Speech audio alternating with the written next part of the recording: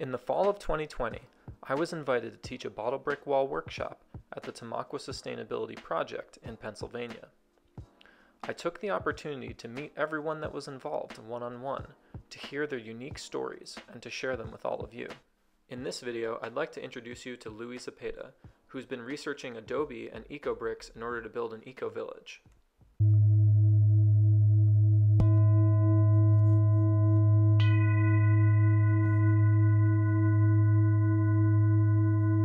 My name's uh, Louie Zepeda.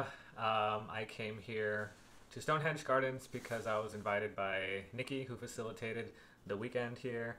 I try to uh, plug uh, EcoBricks whenever whenever possible. I'm, I, I facilitate a project down in South Texas, so that's actually what I'm working on right now. Is just trying to process my non-recyclable plastics and put it into a bottle, and then these EcoBricks then are used to uh, create various structures of different kinds. So I've been I've already been doing that for a couple of years now, showing people how to like make them and uh, what to do with them. And now it's time to actually uh, build with them because we, we have uh, a bit of a collection already. So uh, now I need to get into like Adobe and working with it. Um, and so I'm trying to get around like not using cement uh, in my in my projects and my buildings because cement is, supposed to not be very good for the environment.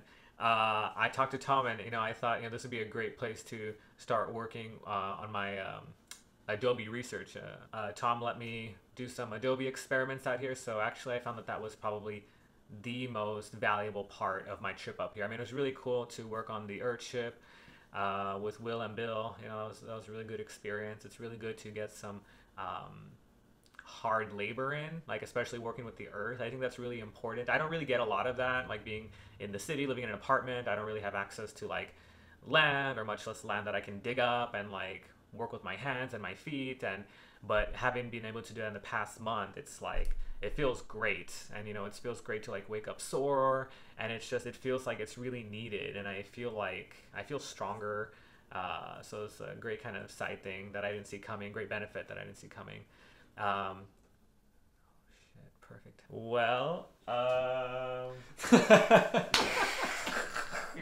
and then to say, yeah, oh, okay, oh, oh, just, just. You should check out my website. It's bodymovin.net. Uh, no G on the bodymovin.net. Uh, .net. so um, I have a lot of the different projects that I've worked on on there. I have a video that shows how to make eco bricks, and I'll have the video posted up about Adobe recipes. So if you're interested in learning about Adobe and the experiments that I've done and uh, a recipe that you can use, um, check out my website, bodymovin.net. If you're interested in uh, learning about EcoBricks, or if you're interested in uh, conglomerating and spreading that message, you know, taking responsibility for what you consume to your community, then definitely hit me up uh, with my contact information that's on that website. All right, that's it for this video. I'm putting a link to Louie's website in the description for you, so if that's something that interests you, then go check that out.